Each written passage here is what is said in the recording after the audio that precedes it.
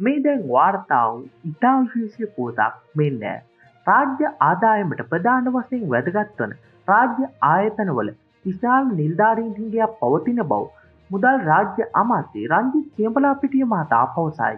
ඒ සඳහා වර්තමානයේ නව බඳවා ගැනින් සිදුකිරීමට හැකියාවක් ප්‍රමැති බැවින් මේ වන විට සිය දක්ෂතාවයට නොගැලපෙන රාජකාරී සිදුකරමින් රාජ්‍ය සේවයේ නිරතව සිටින තරුණු සේවකින් සඳහා තරඟ විභාගයක් පවත්තා අදාළ බඳවා ගැනින් සිදුකිරීමට කටයුතු කරන්න බව රාජ්‍ය අමාත්‍යවරයා ප්‍රකාශ කරයි. එහිදී වැඩිදුරටත් අදහස් දැක්වූ රාජ්‍ය අමාත්‍ය රංජිත් සියඹලා පිටිය මහතා ලොකු නිල්ධාරින් අඩුවත් තියෙනවා. රේගුවෙත් නෑ සුරාබදු එකෙත් නෑ. හාර පන්සියක් මේ වෙලාවේ අපිට නිල්ධාරින් ගන්න බෑ. ඒ නිසා රටේ ඉන්නවා සුවිශාල පිරිසක් උපාධිධාරී.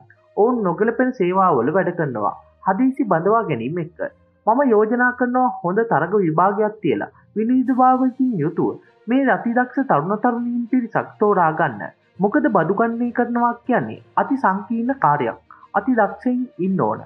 බදු උපදේශකේ කැවිල්ල ලිපිකොනුවක් පෙන්නනකොට ඒක දැක්ක ගමන් ඔළුවට ගන්න පුළුවන් මේක මේකයි වෙලා තියෙන්නේ කියලා කියන්න පුළුවන් තරුණ පිරිසක් අඉන්නවා දැන්ට ඉන්න නිල්ධාරීන්ට අගතියක් නොවන පරිදි ඔවුන්ගේ උසස්වීම්වලට අගතියක් නොවන පරිදි බඳවා ගැනීම කිරීමට අපි කටයුතු කරනවා.